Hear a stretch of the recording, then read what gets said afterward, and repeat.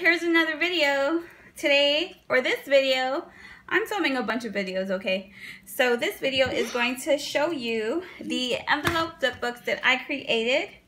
And these books are not created for any particular person. So I'm going to sell them at my craft fair because I did bring a, I brought a couple flip books to a previous craft fair and um, they were purchased. So that was nice of them to buy. Stop. So I made two of them. That's my little one, guys. And I just used envelopes that I've had um, that I picked up at a thrift store, brand new. And I created the two of them. And this is how the front looks. And then this is what the back looks like. So I'm just going to share with you one of them. And here we go. And there's my same ribbon closure that I have. And then this is the envelope. I added some washi to cover up the sticky part of the envelope.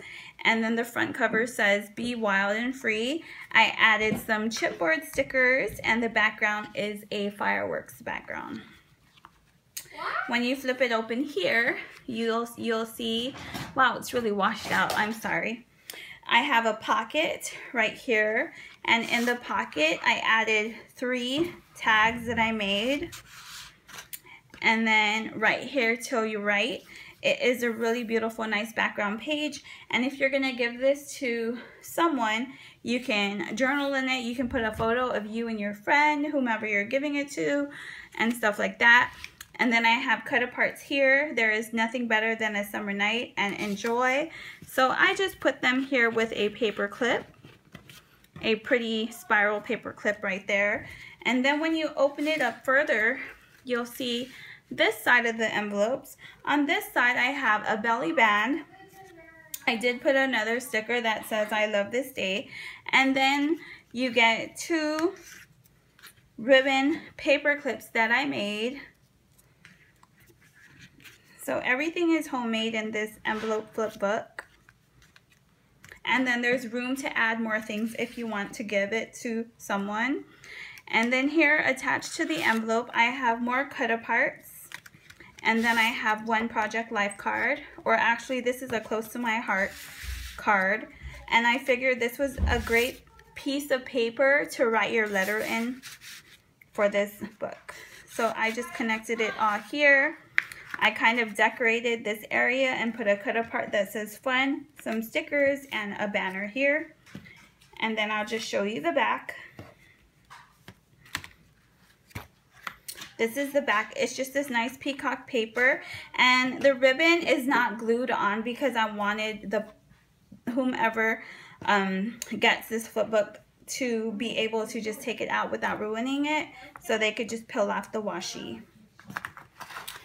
So yeah, this is the envelope flip book. And then you can just tie up the ribbon nicely again. It's really, really simple. It was so fun to make. It's a nice little creation that you can personalize yourself before you give it to a friend. So there you go. I'm, I'm planning on making more. I do have my bases